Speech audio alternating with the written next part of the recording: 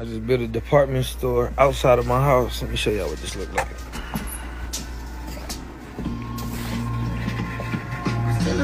Excuse me, my brother, my fault. Just so y'all see, man. There's still more, you feel me? So all that fake capping about y'all got drip, man. Come see me, you heard me?